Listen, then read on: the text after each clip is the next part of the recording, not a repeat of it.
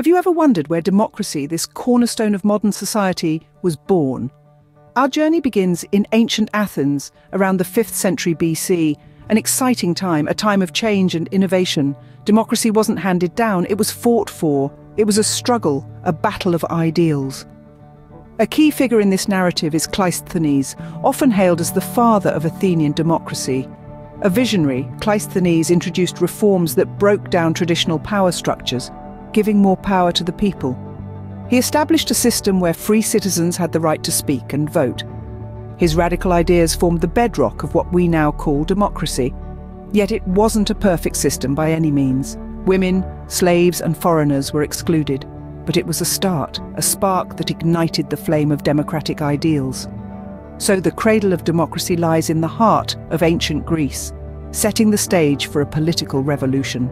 From the city-states of Greece, how did democracy evolve to become the predominant form of government worldwide?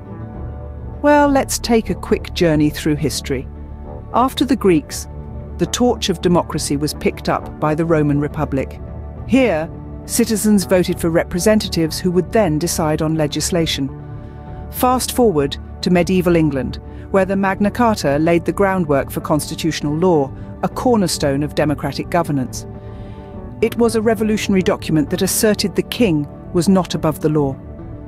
We then moved to the American and French revolutions, where democracy took a bold stand. Figures like Thomas Jefferson and Maximilien Robespierre emerged as champions of democratic ideals, their influence resonating beyond their own time and borders. This evolution is a fascinating journey, showing us how democracy has been shaped and reshaped across centuries and continents. The evolution of democracy is a testament to the human spirit's unyielding desire for freedom and equality. So, where do we stand today in this democratic journey? Well, democracy, like any living entity, has continued to evolve.